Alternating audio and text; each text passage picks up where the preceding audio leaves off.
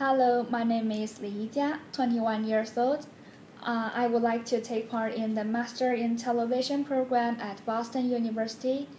So now the first question I'm going to answer is to discuss how you wish to advance your community as the result of your graduate study. To answer this question, I have to start with the reason why I'm eager to apply for a degree in television program. In China, as the living condition improved rapidly, television and network have become important channels through which we know about the world. However, the media's credibility in China has been questioned by more and more people.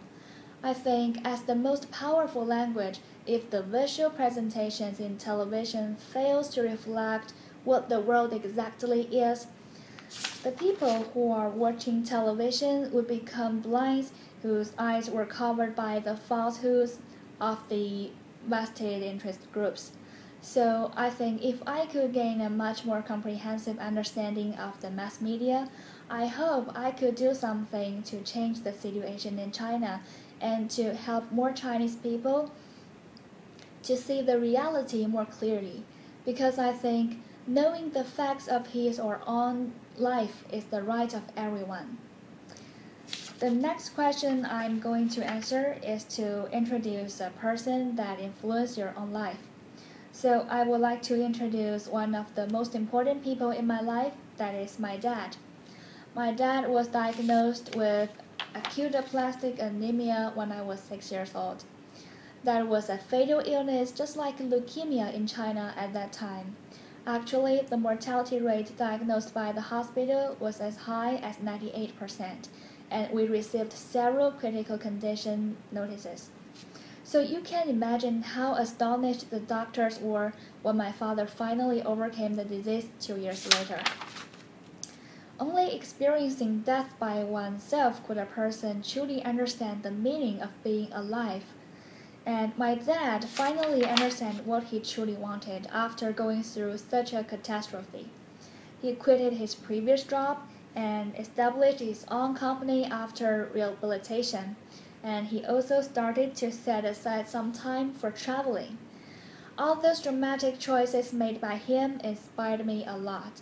I suddenly understood that life is not always what we presumed, and we cannot wait until it is too late to fulfill our dream. And that is the main factor that encouraged me to give up what I've learned for almost four years for my bachelor degree and decided to pursue my own dream now.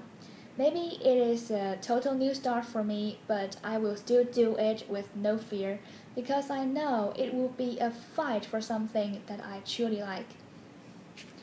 And the last question I'm going to answer is to describe where you grew up to someone who hasn't visited before. I grew up in Beijing, China. When thinking about Beijing, the words that comes to your mind may be the Great Wall, the Tiananmen Square, the Olympic Games, and of course the capital of China. However, for me, the most attractive Beijing is like this. An old city filled with hutongs and traditional courtyards. And I used to live in a courtyard in south part of Beijing. And there were typical Chinese architectures with gray tiles and red gates. There were blue sky and huge trees, which were even older than my grandparents. There were lovely kids playing with traditional Chinese toys and old men spending several hours in Chinese chess. Usually, there must be an fierce argument between them about whether someone has broken the rules. And there were also vendors selling candied haws along the street, and I was always the one who cried and begged my mom for buying a string for me.